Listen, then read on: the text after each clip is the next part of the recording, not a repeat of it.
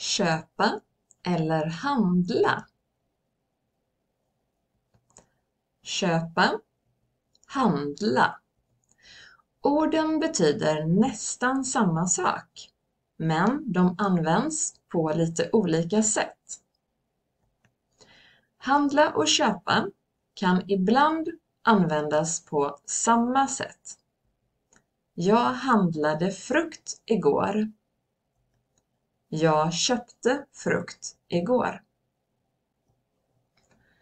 Men ordet handla passar bättre när man pratar om att handla mer generellt. Jag handlade mat igår. Jag handlade kläder. Vi vet inte vilken mat eller vilka kläder.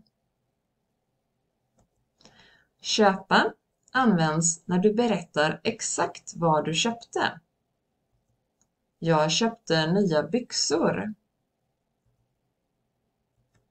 Hon köpte en ny bil.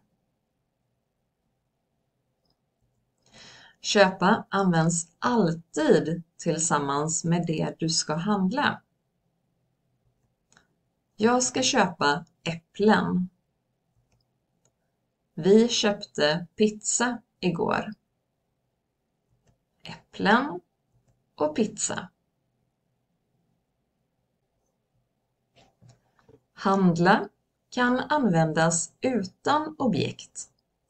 Då betyder det att jag är i affären eller åker till affären. Jag ska handla imorgon. Jag handlade igår. Vi tittar på några exempel. Vi ska åka och köpa, handla nu. Vi ska åka och handla nu. Här finns inget objekt, så vi vet inte exakt vad vi ska köpa. Då blir det handla.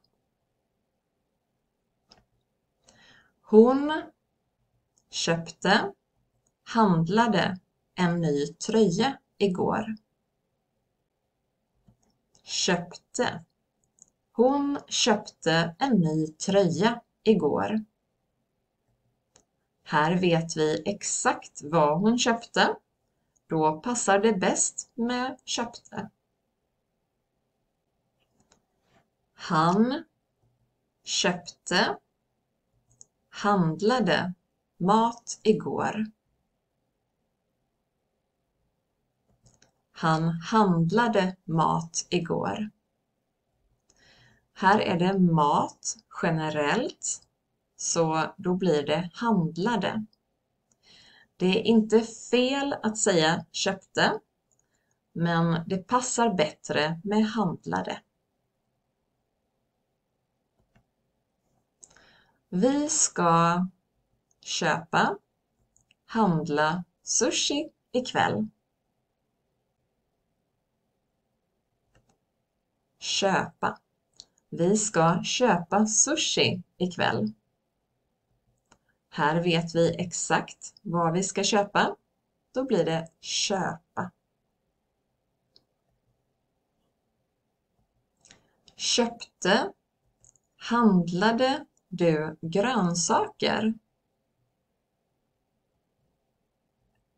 Här fungerar båda orden.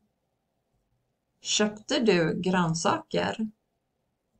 Handlade du grönsaker? Vi har också ordet shoppar. Det betyder att du går på stan och tittar i olika affärer. Du handlar olika saker. Till exempel, jag var i Borås och shoppade i lördags. Jag ska ut och shoppa med Anna.